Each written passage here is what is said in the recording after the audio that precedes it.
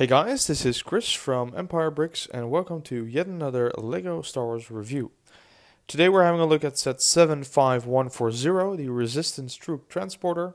It was released last year in 2016. It comes with 646 pieces, 4 minifigures, and it retails for about 65 euros. Um, and let me start off guys, this is an amazing set. This is a Lego building masterclass. This is a must have if you have just gotten into Lego Star Wars, then get this set. If you want a Millennium Falcon, can't afford it, get this set. If you have every Lego Star Wars set instead of uh, not this one, get this set. Um, in short, you should get this set. And I'll explain why. But first, let's have a look at the minifigures that come with this. Um, and that is actually immediately my only downside for this set is that there is only four minifigures. I, I would have had, you know, expected five. I would have wanted six, but we get only four. Um, so let's start off uh, with a with General Leia or General Organa. She is called Princess Leia on the box, I think. Um, so yeah, she she looks pretty neat. Uh, this is the vest that she wears in the movie. Uh, the Force Awakens, so that's pretty recognizable. It's just it's not that special. There's not even a print on the legs, although she doesn't have really, you know, exciting pants on in the movie, but still, it you know could have been a little bit better. And she comes with this little blaster. Next up is Admiral Ackbar. I'm really happy to have him. I didn't have any Mon Cala minifigures, and this one is the the newest, and he looks great. Also, he has his you know standard vest kind of cozy vest. And there's this really, really small insignia. It's it's almost impossible to see, but there's it's really detailed. It's so small and still it's there. So that's cool. And he does have printing on his legs. Um, some simple printing on the back. No double-sided face, of course. He comes to this small blaster and this empty cup. And now that I have um, reviewed a couple of sets, I own a couple of sets you might have noticed it, but this cup is kind of a thing. It's also in set 75055, the Star Destroyer. There's also this small cup that comes with it. I think the um, the Home One uh, set also has Admiral Ackbar and this cup. So if you have any idea why they do that, please let me know. But uh, it's kind of funny. Um, oh, I didn't show you, but uh, Leia also has a double-sided face. So she has this smirk kind of face and this more serious kind of face. I like the serious one a little bit more. She doesn't smirk that much in the movie actually. She looks kind of serious most of the time. So those are the first two. Next up is a resistance trooper. And they have these really, really cool helmets. So this, this part actually moves. You can flip it up. And then there is this yellow visor that's attached to the helmet. Uh, and this part is not. I'm not sure how that would work in real life, but um, it looks really neat at least. Um, although the this clip comes off a little bit easy, but uh, yeah, it looks great. They come with these medium size blasters, and they are in gunmetal gray, which is one of the you know million small positive things about the set. They didn't have to do that, but they did. It's just a new color. Just looks a little bit better. And he has this uh, Rebel insignia on the front, no printing on the legs, and some basic printing on the back. Then there's another one, another Resistance Trooper. Uh, same helmet, a little bit of a different face. Uh, both the troopers don't have a double-sided face, by the way. Um, they have these uh, two stripes on on the helmet, different jacket, still no printing on the legs more of a strap kind of bands structure on the back and another gunmetal gray gun. So uh, medium blaster that is. Uh, no stud shooters, that's great. Um, but just four minifigures. I would have loved maybe one First Order Stormtrooper or maybe a C-3PO with a red arm or maybe Han Solo or Chewbacca maybe Finn. There are just so many options that you could have given with this set.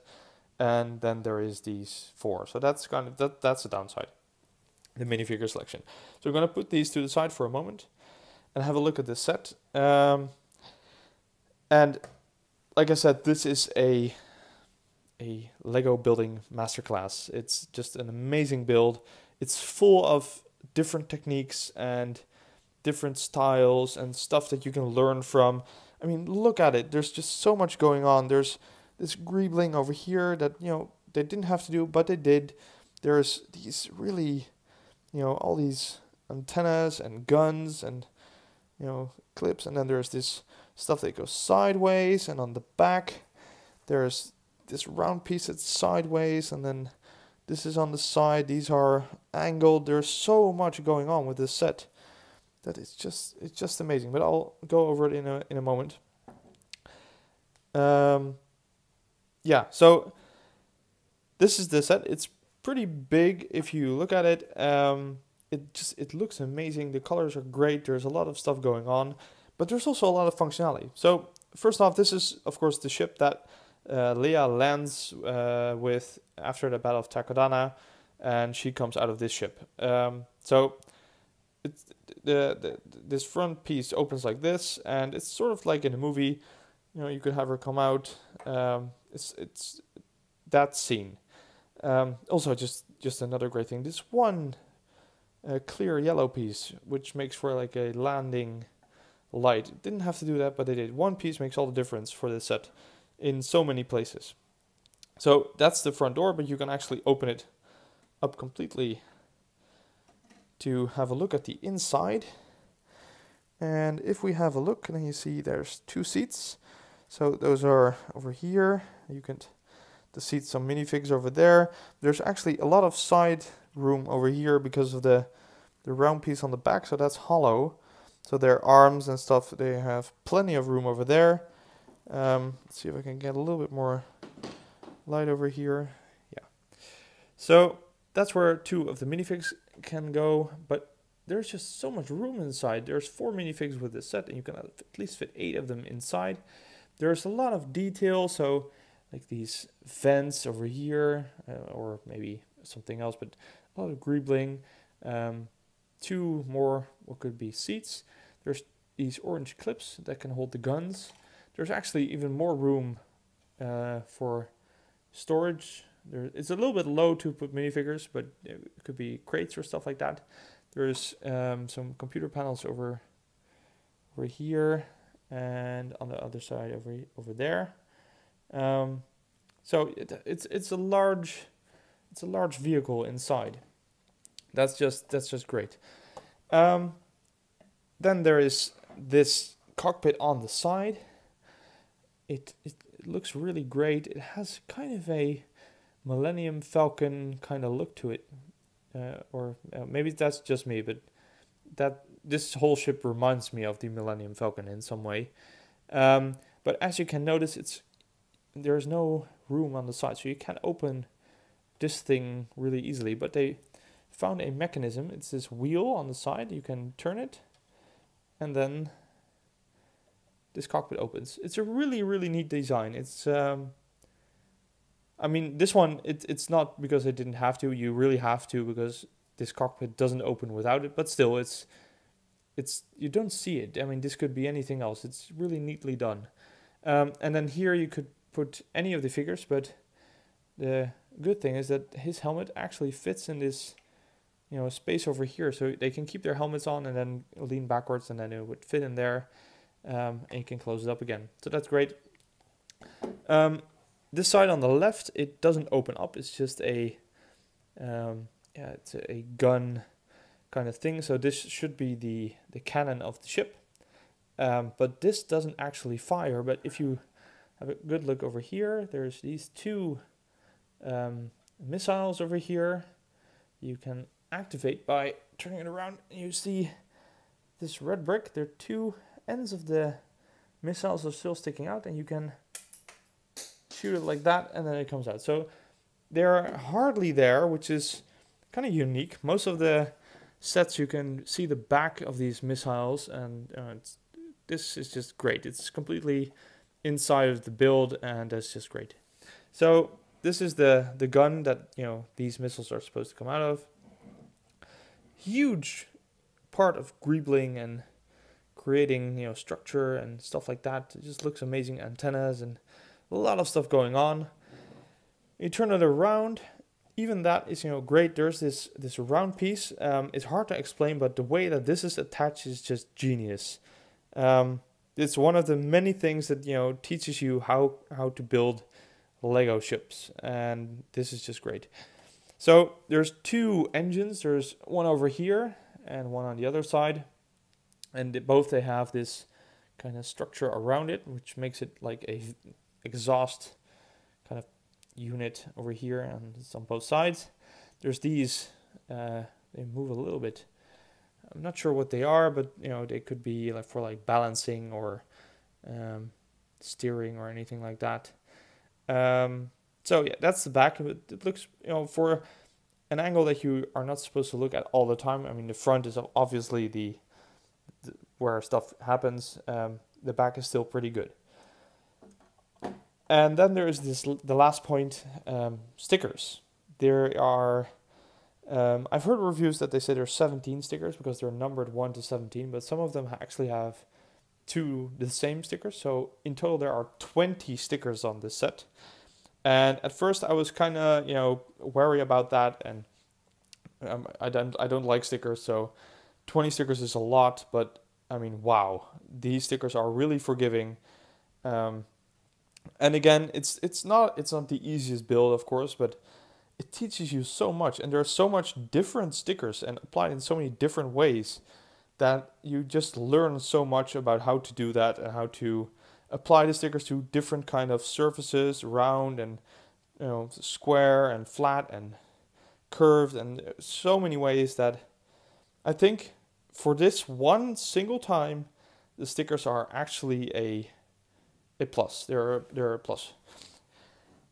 The only kind of hard sticker is this one because this is actually three stickers. So there's there's this piece over here. There is the this piece over there, and then there's this overlapping piece. And those are they have to be perfect, or they will come off after time. But um, 20 stickers, and I'm happy with how I applied every single one of them. And I'm not good at applying stickers, so that says a lot. Uh, you know, don't be scared of the stickers. This is just um, another pro for for this set.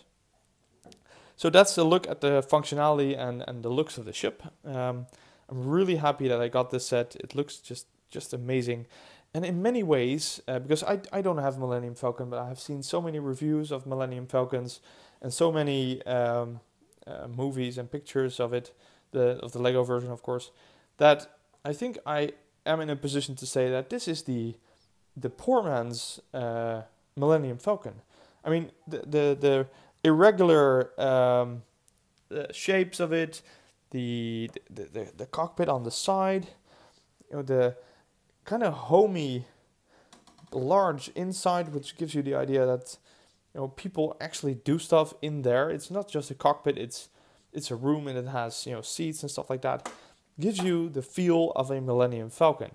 So if you don't have the Millennium Falcon or can't afford it, please get this set and you will not regret it. This is just a great set. Um, it, it, it retails for 65 euros. I got this for 50% off because it's being discontinued as of this moment. So I got it for a little under 30 or a little over 30. Um, so, I mean, that's just a great price for like 600 pieces, four minifigs. That's amazing. So try to get it now um, and you will not re- regret it or try to get it from eBay or Bricklink or anything that you can get it, you know, without box or anything so that the price is lower. I can really, really recommend this set. So, um, just to sum it up, the biggest pro is basically everything, but I would like to say that this is a, a Lego building masterclass just in one set. Uh, this set has it all, except for the one con, and that is that uh, the mini minifigure selection could have been better, but um, it's still there are figures that you really want to have. You have two troopers, which is cool. Admiral Ackbar, which you don't get in that many sets, so that's cool. And Leia is you know kind of uh, a must-have if you buy a Force Awakens set, and she is kind of essential. So they're good minifigs. There's just not enough of them. So that was the review, guys. I really hope you liked it. It was kind of long. Sorry for that, but there, I'm I'm just really happy with the set. I really want you to buy it. Um, so please like, comment, and subscribe. I will be doing more reviews, mocks, and stuff in the future. Um, so stay tuned and see you at the next video.